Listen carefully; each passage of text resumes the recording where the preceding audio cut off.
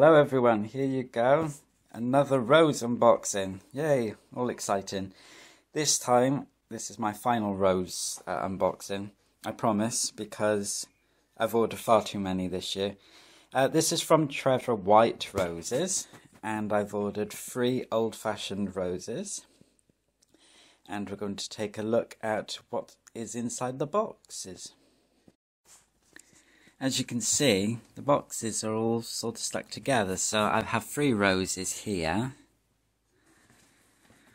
So it's going to be interesting how you actually open it. And here we are. Once again, it's like Fort Knox to get into these boxes. But here is the first rose that I have ordered. This one is Dusky Maiden. Very beautiful uh, rose here. Oh yes, very, very beautiful dark foliage. Nice, happy and healthy. Ah, this one's not stuck to the bottom, so this one's easier to get out, so that's good. And here is the second one. This is La Reine Victoria. Look at that growth already. It's running for the hills and it looks very happy and healthy. Again, like the other one, it's uh, it's not fixed to the bottom, but that's fine. They're both in good condition, so there's no problem there. And here is the notice from Trevor White. Please be advised that these roses have been recently potted and are best left in the pot until late May to allow a good root ball to establish. Keep well watered before and after planting. And here is the final one. This one, oh crikey, here we go, uh, is Gruss an Teplitz. Blooms, I will show better pictures of these for you. But look at the growth on this already. So much growth, happy and healthy. I have bought from Trevor White in the past and I've always had very good success. But I've always bought bare root, never potted, so it's nice to see what they look like as potted roses. So there you go. All happy and healthy. And another shipment of roses that I have to find somewhere to put.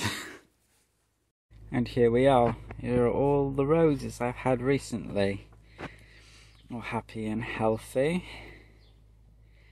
Looking forward to all these growing and me using some of these older roses within my breeding programs. So I do recommend both um, Cottage Memories and Trevor White Roses if you live in the UK and you're looking for suppliers of potted roses this time of year. Those two are definitely the ones to go for. Although I will state that these ones I got from Cottage Memories were considerably cheaper than these guys. They were half the price, but I suppose the results speak for themselves. They are a lot more robust, very healthy. Uh, look at Dusky Maiden, beautiful foliage on that. Um, so yeah, I can't fault any of them. I'm just looking forward to it. Here is just a quick update of how the roses that I bought from Cottage Memories are doing. Um, I've left them currently in my polytunnel because the weather's been, well, a bit awful this last few days. We've had high winds and awful rain and I just want to acclimatise the new roses to um, my garden. So they're staying in here at the moment. Um, and these are the Trevor White roses, and they have grown considerably. Um, look at the foliage on that. I love the dark of Dusky Maiden on the foliage. And this is Teplitz. Beautiful.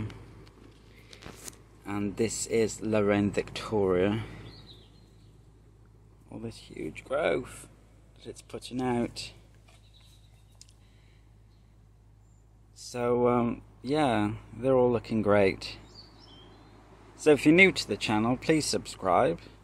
It's lovely to have you, and um, I will be making a lot more videos showing you the progress of my uh, flowering and of other flowers in my garden as well. So thank you for watching and uh, catch you again soon.